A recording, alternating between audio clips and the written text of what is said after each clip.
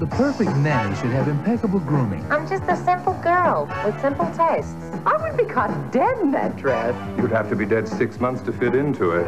She should nurture the children. Oh, I've got, I'll do, I'll fix. Sweetie, listen.